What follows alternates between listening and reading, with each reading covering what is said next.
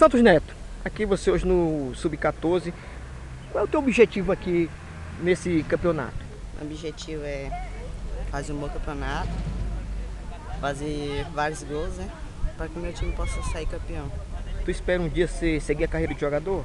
Com certeza, batalho todo dia, sou bastante, tenho muita determinação naquilo que quero. E é isso, meu Tu, sonho. certo, tu estuda? Estou, Como é que tá lá no estudo? rapaz, eu, não- eu sou um aluno focado, né? Eu não tiro nota baixa.